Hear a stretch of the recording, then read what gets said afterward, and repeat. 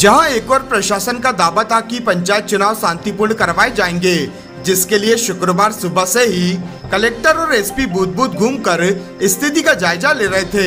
दिन भर शांतिपूर्ण चले मतदान के बाद दोपहर तीन बजे के लगभग शुरू हुई मतगणना में भारी विवाद की स्थिति बन गई। पूरा मामला नर्मदापुरम ज़िले की सिवनी मालवा विधानसभा क्षेत्र का है, जहाँ के ग्राम बाकाबेड़ी में सरपंच चुनाव की मतगणना तो शांति से हो गई लेकिन जब जनपद पंचायत के वार्ड 19 के जनपद सदस्य की मतगणना चल रही थी, तभी प्रत्याशी रानी जसवंत पटेल के परिजनों ने बूथ कैप्चरिंग करने का प्रयास किया और मतपत्र को फाड़ने के साथ साथ एक टीआई सहित चार पुलिस कर्मियों के साथ मारपीट भी की गई।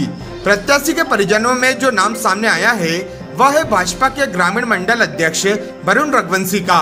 वरुण रघुवंशी बाकाबेड़ी पंचायत से सरपंच का चुनाव जीत चुके हैं। लेकिन अपनी रिश्तेदार के जनपद सदस्य की मतगणना के दौरान बूथ कैप्चरिंग के प्रयास और मतपत्र फाड़ने को अंजाम दिया।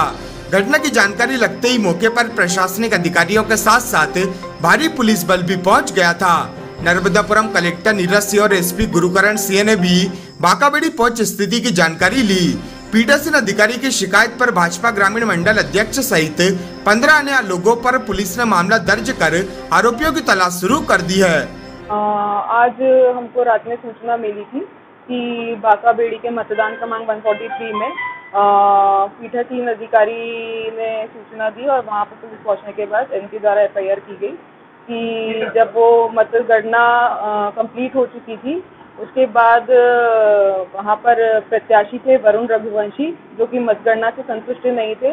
और उनके और उनके अन्य साथियों द्वारा पीठासीन अधिकारी के कक्ष में घुसकर उनके साथ गाली गलौज की गई, उनके साथ मारपीट की गई और वहाँ पर जो रखे मतपत्र थे उनको फाड़ दिया गया और वहाँ पे उपस्थित पुलिस कर्मचारियों के द्वारा भी उनके साथ मारपीट की गई। और इसी घटना के क्रम क्रम में पीठासीन अधिकारी द्वारा एफआईआर दर्ज की जा रही है और आरोपियों की तलाश की जा रही है?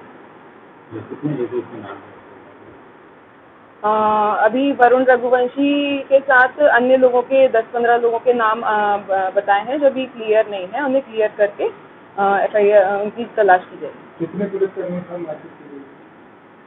वहाँ पे लगभग पाँच से छह पुलिसकर्मी उपस्थित थे मतदान केंद्र क्रमांक एक सौ तिरालीस बाका बेड़ी पर मतगणना होने के पश्चात जब मतगणना पत्रक बनाया जा रहा था और पूरी चीज़ों को सील किया जा रहा था। उसके बाद कुछ लोगों ने आकर के वहाँ पर कुछ मतपत्र फाड़े हैं। इसके संबंध में पूरा प्रतिवेदन बना करके आयोग को भेजा जा रहा है और आयोग के निर्देश अनुसार आगामी कार्रवाई की जाएगी। कुछ गिरफ्तारी वगैरह हाँ? इसमें जो है पीठासीन अधिकारी के पूरे बयान दर्ज किए गए हैं। इस पर एफ़ आई दर्ज की जा रही है और आरोपी को खोजा जा रहा है। मतदान केंद्र पे कुछ पुलिसकर्मियों और पीठासीन से किसी का मारपीट की गई है? उसमें पूरा जो है एफआईआर दर्ज की जा रही है और आगे कार्रवाई की जाएगी।